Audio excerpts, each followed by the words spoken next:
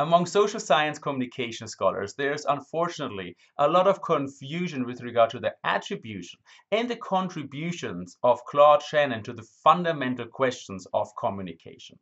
To begin with, social science communication scholars usually refer to Shannon's comprehensive information theory as the Shannon-Weaver model. They say it is the mother of all models, but the fact that they attribute it to both Shannon and Weaver already shows you that they must have never read it. That, that That's the only explanation. So to set the record straight, what happened? In 1948, uh, Claude Shannon, a mathematician at the Bell Labs laboratory, published uh, two papers a two-part paper uh, in the Bell Labs technical journal called A Mathematical Theory of Communication. Now, Weaver was also a scientist, but more like a science advocate. He worked a lot in promoting science, in, in, in getting funding and so forth. And he was always very quick in understanding when something really big was happening.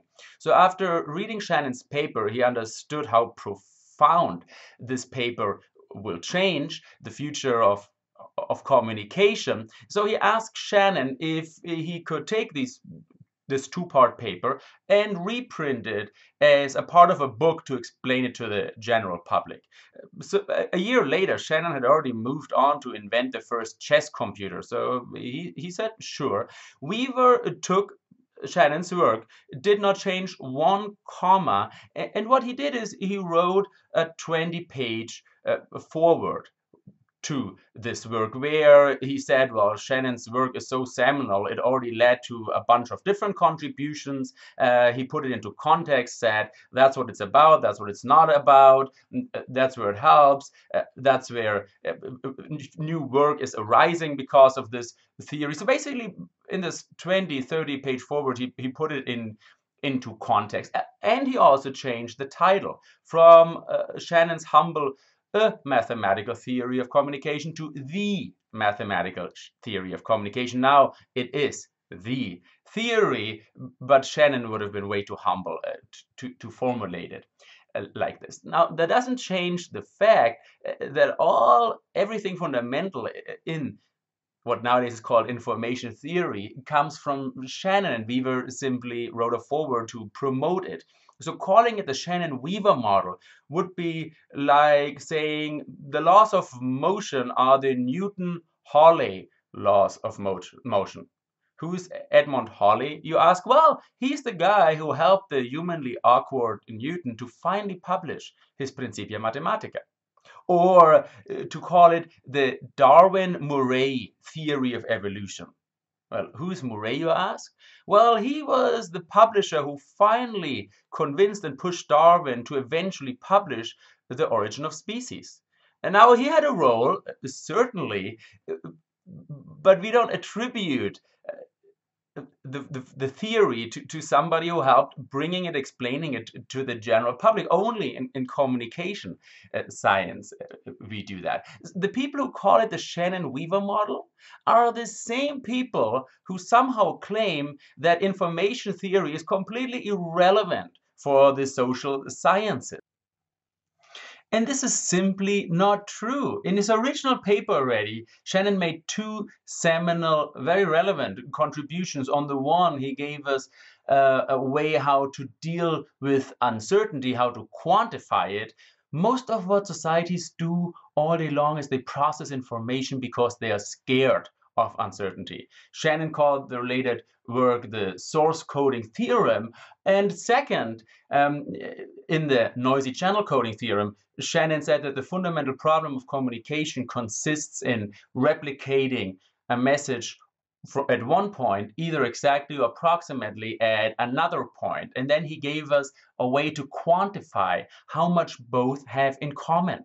So for example, how much does on average my worldview have in common with your worldview? How can that not be relevant for the social sciences? Now, of course, information theory does not solve all the problems of the social sciences. Well, thankfully. So we still have some work. So it's on us to pull up our sleeves, and to do the related work. For example, information theory doesn't tell us if the sender is happy and if the receiver values the message a lot or even a little bit more or even a little bit less. But that doesn't change the fact that information theory gives us the fundamental building block of a mathematical, really quantifiable scientific theory of communication on which we can build other insights. So please do me a favor.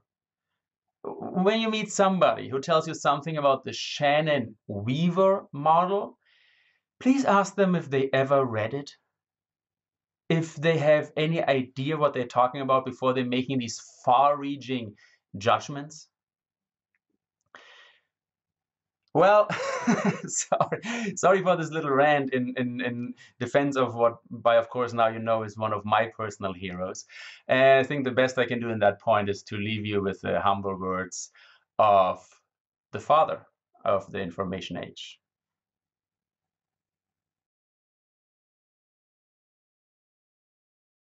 Shannon reflects on his life's work in information theory. I didn't uh, think in the first stages that it was going to have a great deal of impact.